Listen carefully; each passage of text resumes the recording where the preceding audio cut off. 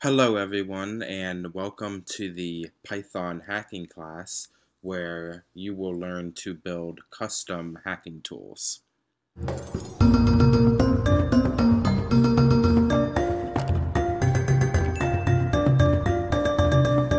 this course we will be learning how to create hacking tools using Python. Um, first we will start off by learning how to create a simple web scraper.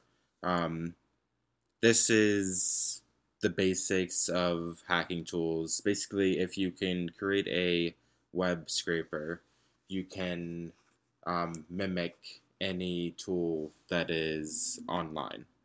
Um, we will be utilizing these techniques to create a proxy scraper which is really useful. Um, a lot of the times when you go to get a when you go to get some sort of proxy list online, they will try to charge you like 200 bucks a month.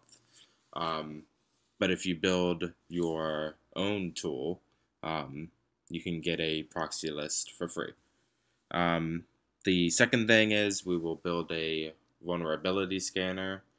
This will focus on detecting clickjacking in a website. Um, so it isn't like a whole Nessus um, scan. We're only scanning for one vulnerability. Um, but it will teach you the basics of, of uh, that. And then after that, we will build a basic port scanner. This will be similar to Nmap we will be using socket programming. Um, this is really useful to learn um, not only for port scanners but also for malware and stuff. Um, if you want to create your own malware, you will be using socket programming for your for your communication. Um, and then we will wrap up with a password sniffer.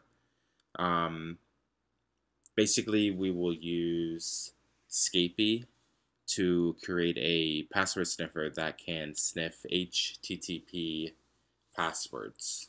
Um, in order for that to work in the real world, you would have to do some sort of man in the middle attack. So like ARP spoofing, uh, rogue access point, something like that. And then you could run the password sniffing script in order to steal users' um, credentials whenever they log into a HTTP site. So um, that's it. Um, I hope to see you guys in the class, and I look forward to teaching you guys. Thank you.